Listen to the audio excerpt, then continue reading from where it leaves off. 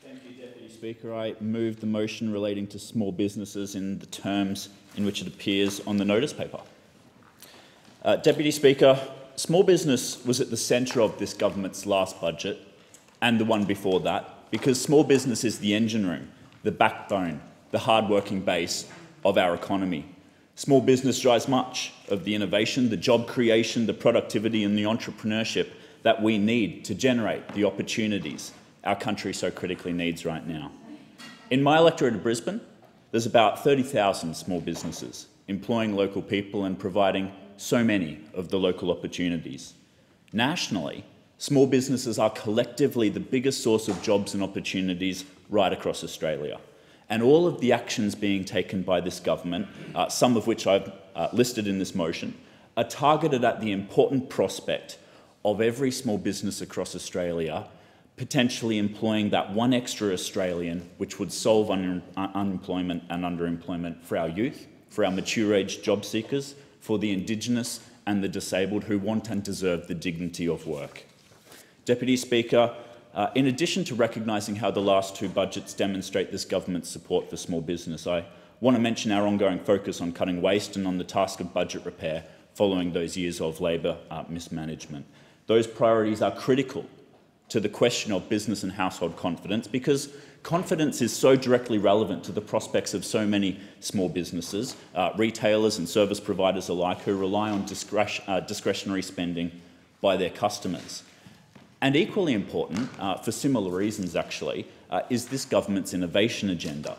Uh, the $1.1 billion of initiatives are incredibly significant. The regulatory changes to make it easier to start and fund uh, startups and to commercialise ideas are excellent. But even those uh, benefits, I guess, are, are outweighed, I feel, by the fact that this government's focus has lifted the topic of innovation uh, into the national conversation, uh, making many Australians right across the country think again about that little business idea they've had uh, hanging around in the back of their minds and uh, really driving entrepreneurship.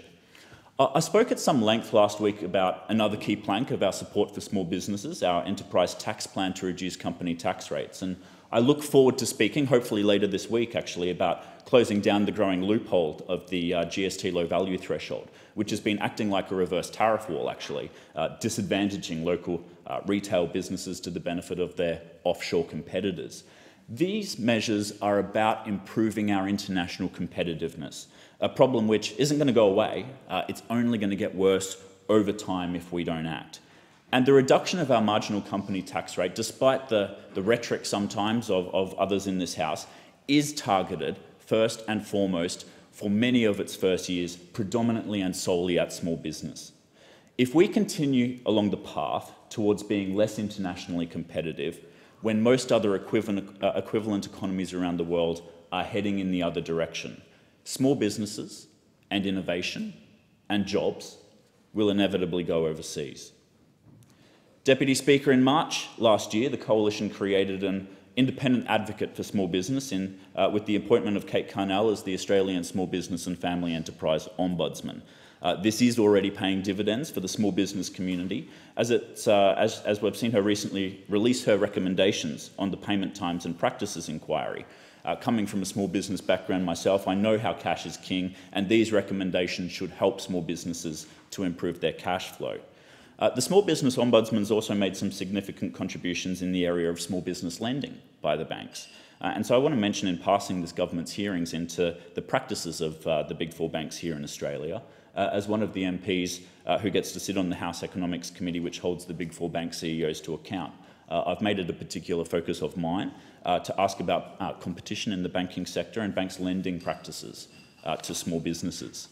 Uh, Deputy Speaker, I'm of and I'm from uh, small business. the list of government achievements and priorities in this motion is as extensive as it is because of the Liberal National Party's uh, being the ones with the experience, the real world experience in small business, and we better understand the opportunities and the challenges faced by small businesses today.